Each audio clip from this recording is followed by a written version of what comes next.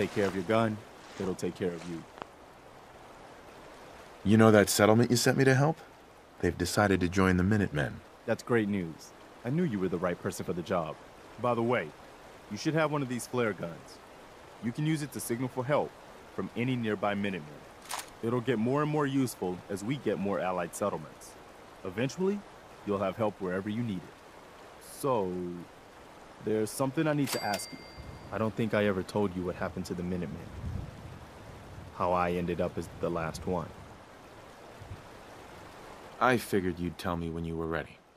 Have you heard of the Quincy massacre? You guys came from Quincy, didn't you? That's right. Mama Murphy, Sturgis, the Longs. They were all from Quincy. I was with Colonel Hollis's group. A mercenary group called the Gunners was attacking Quincy. The people there called for the Minutemen to help. We were the only ones that came. The other groups, they just turned their backs on us and the folks in Quincy. Only a few of us got out alive.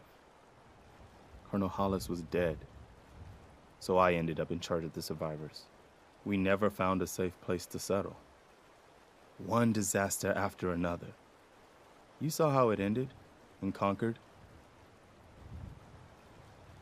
I know how it feels to be the last survivor. Yeah, I guess you do. That's why I'm talking to you. I can't rebuild the Minutemen, but I think you can.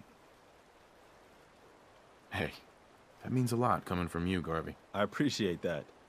Does that mean you'll do it? Okay, I'll do it. Good. Good.